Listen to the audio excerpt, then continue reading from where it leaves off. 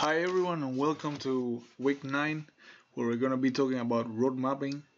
I hope you guys are doing great and taking care of yourself and still progressing in your projects despite of the difficult situation. Um, so the goal for today and sorry the goal of the week is to help you or to make sure that you are able to visualize your project in short term mid and long term uh, milestones. And see your let's say your your your your time frame or scope in one to two years right? That's the idea of road mapping. So I'm gonna be talking also a bit about what we have been doing. This is the the model that we are providing you guys with to kind of scope the time and uh, what you want to do in a certain time in your project because it's really important to manage the pacing that you want to work uh, and you want to maintain. So uh, the first uh, weeks, uh, if you remember, uh, we have been focusing on your product vision and value proposition, which is something that you want to, if you have clear, you want to spend from one to three years working working it out. And uh, we have been using these tools to help you define this right? That's what we have been doing. Uh, then we translated your your hypoth your visions and goals into hypotheses uh, that you can validate uh, easily. That's why we use the tools the canvas and the value proposition. And the idea was to get you to do things that are more in the short term and in the sprint uh, kind of uh, context.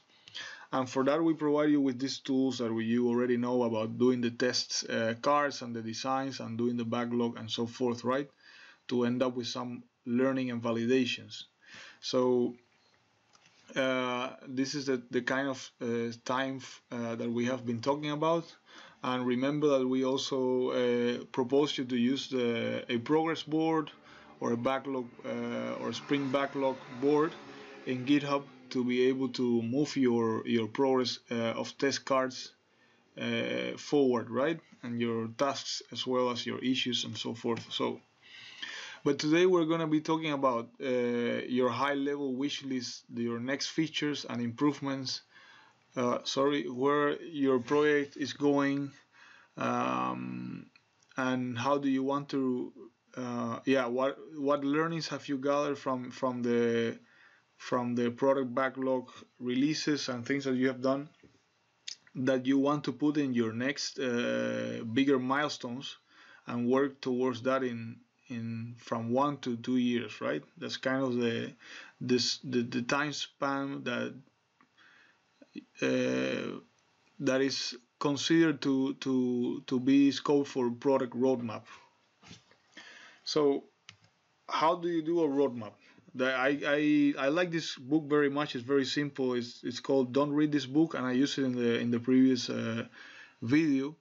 Um, I really like it because it's very straightforward. You start uh, here in step one where you define your goals. What do you want to achieve? In this case, we're talking about goal from one to two years. Then you go to where where are you standing at the moment? Uh, what have you achieved? Uh, what are you capable of doing? What sort of team do you have? To then land in the strategy, which is basically the roadmap. What milestones and big steps do you want to do to be able to achieve uh, the goals, right? So that's a basic principle of road mapping, going from from goals and wishes to a back backwards to where you are, and then where you how do you want to achieve that, right? So I'm going to put some examples. Let's say that you have the goal of releasing your version 2.0.0 by September 2020 or you want to get 100 users and replications maybe or 100 replications of your product you might want to get a funding to sustain core team for two years which might be a couple of hundred uh, a couple of thousands of uh, euros or less depending on where you are in the world. Uh, or let's say you want to release an alpha version because you're in an early stage in your project so you want to you want to first release a prototype by July 2020 to get some feedback. Um, or find a manufacturing partner that can sponsor and share part of the profits of selling your designs or our designs, right? In this case, I'm putting I'm putting myself in your shoes. So these are some examples. You could have another goal, which might be having a partner school that is using our product and uh, buying us kits uh, and being early adopters or early early customers. So these are some examples, right? Now, oops, so I forgot. So now I'm gonna put some scenarios of where you are currently standing. So you might be uh, standing in a situation where you every month you get a new feature request or idea from your community or you might be in a stage where you have funding enough funding for one person the main uh, person in the project to work full time or three persons in the project to work full time because you happen to be in a university maybe i don't know uh, you might be in a situation where you have validated your core concepts and functionality you have a prototype that works and you have tested. You have a solid group of early adopters. Uh, you have a small community that supports the project so it really depends where you are and that's very important. Uh, you might have a solid core team of four persons that have been working and dedicated to your project so these are all examples right of uh, where you could be standing depending on, on the difference the different projects that you are working on so one important thing, it is up to you to do your entire roadmap open and publish or only key milestones that is worth sharing with the public according to your strategy.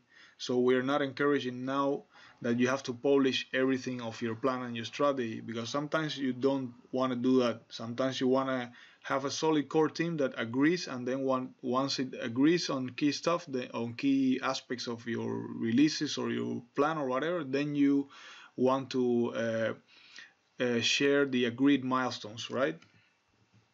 Your roadmap, your roadmap, product roadmap can be open, but your entire project roadmap could also be shared only among core team members. That's what I just said.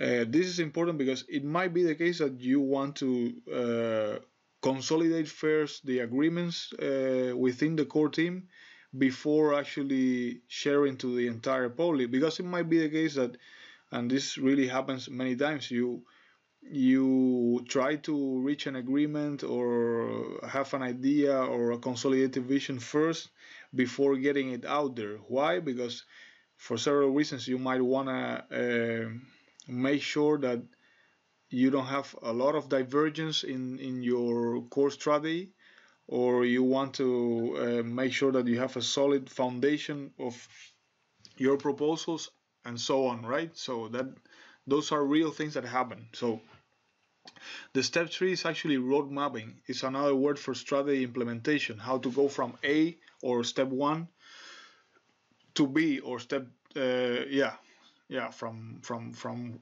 from A actually step two. Where are you currently standing to B? Where do you want to be? Where do you want to uh, what do you want to achieve? And then we're going to be working on the on this uh, aspect now, right?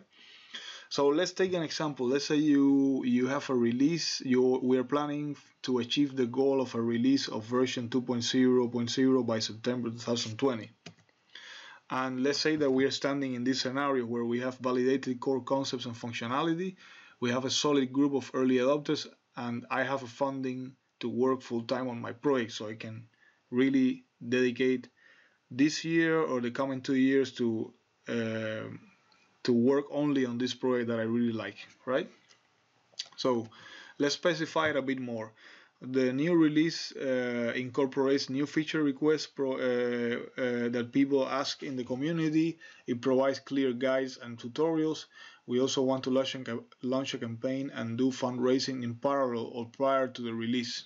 So these are this is perhaps more specific to kind of picture uh, an idea of of of a strategy and the goal. This goal is too general, too unspecific, so this tries to specify it a bit more, right? So let's see what we could do. Okay, in order to go from step two or from A to B, we want to release new version source files by mid-June 2020.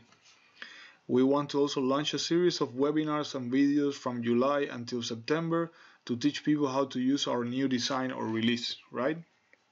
That's another thing that we might want to do in and can be a milestone in this in this example. We also want to release guides and documentation by the end of June. That's another important milestone in the project, right? Uh, we want to invite people on the internet to do a review of the new release systematically from official launch until the end of December.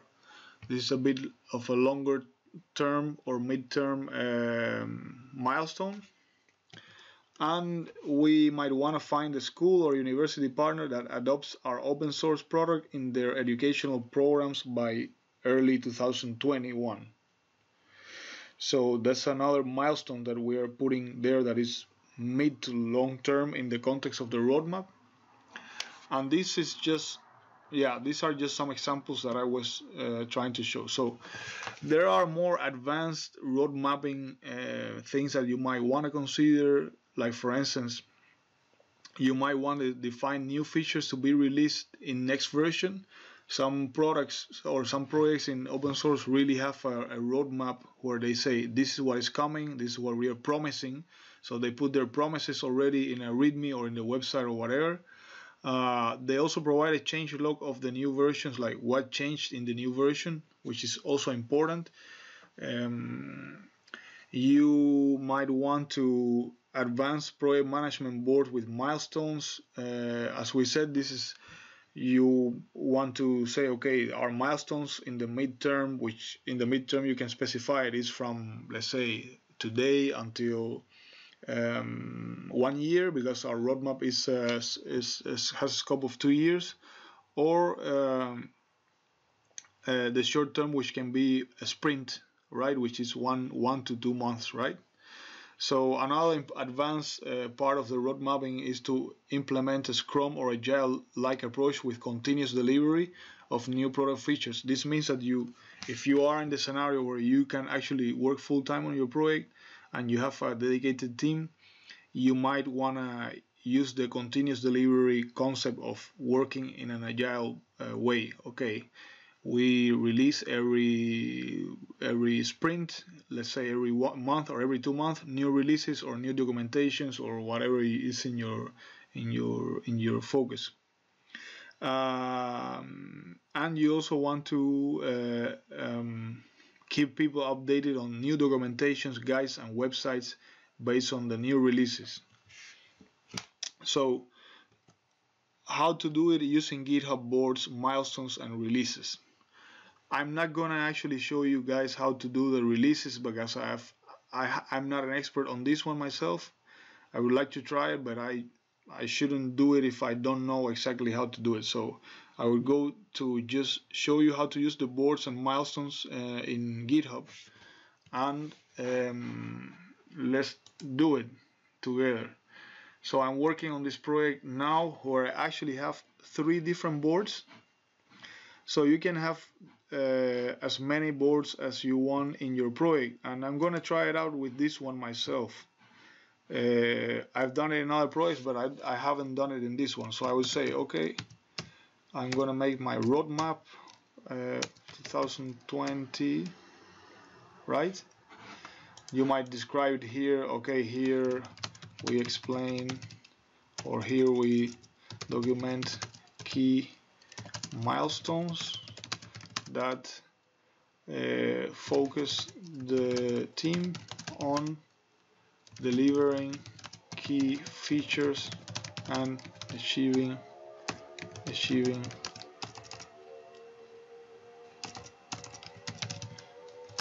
in, uh, core milestones right? Uh, I don't want to use a template for this. I want to make it public or private. I, I will first do it private to just to check it out right? Because I don't want to release it without uh, being finished so I'm going to create the new project. Uh, and I'm going to add a column where I'm going to say short term. I'm going to say only midterm. Midterm. Create column. And I'm gonna add long term. Okay. So midterm. Uh, let's say midterm is let's specify it a bit more here. Midterm is from 6 to uh, from today to six months. Right? And then we're gonna say long term. One to one year one to 1.5 years one year and a half. Right? Just to you can then make it fancier but I'm just doing it now like this to briefly make the demo. So uh, I want to say okay during in this project in particular which is a project related to documentation of open hardware for COVID I want to say okay in my midterm uh, I would like to release uh, version production version of the app. And this involves basically I would add other more stuff like having the backend the backend fully functional.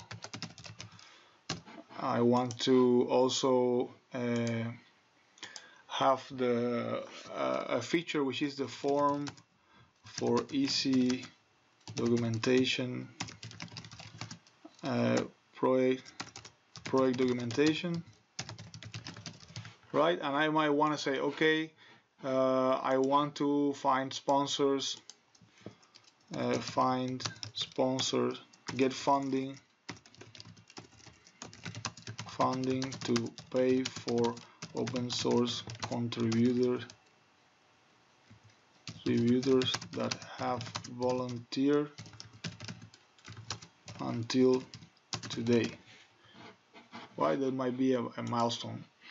Another milestone might be to uh, get a traffic of let's say 100 users per week um, from yeah that's that can be another milestone which you see you can see that it's very it's very measurable and very concrete right?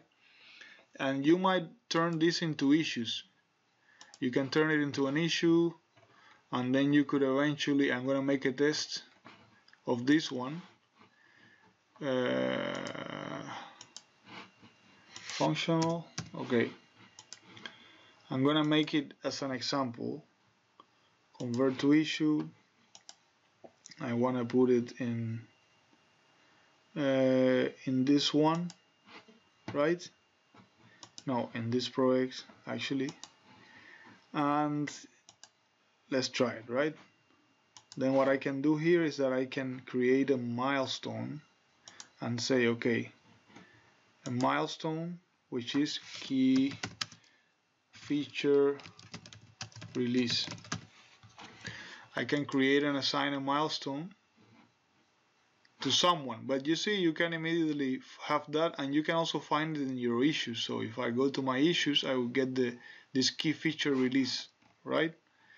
Uh, so that's pretty much how you do it in github how you can do it. You can also as we said you can make a, um, a roadmap in a markdown as well and yeah this is just an example. You can make the once I reviewed with the team and I agree with the team on this then I could turn all these into issues and then I could make it public. But for now because I haven't I will just keep it private. Okay? So going back to the to this one to the to the slides uh, it's pretty simple the concept. For week 9 the, the assignment is actually one assignment. Follow the basic process we have provided you in three steps. So define your core goals in a time span of one to two years from today. Specify where are you standing what have you learned validated and achieved what capac capacities do you have. Reflect about that Define clear milestones or intermediary steps that can lead you to those goals for one to two years. If applicable and desirable to your specific context, specify these ones, the milestones, in the Kanban board as I just showed you guys. Or do it in a markdown file in your repo, calling it roadmap.md. Uh, yeah, so I think this is this is it for today. I hope you enjoyed the video and you uh, you learned something and we're hoping also to get some feedback from you. If you have something to share about it uh, please uh, share it in the in the in the video in YouTube or you can also do it in our chat in Riot. And hope to see you soon. Bye bye and good luck for this new week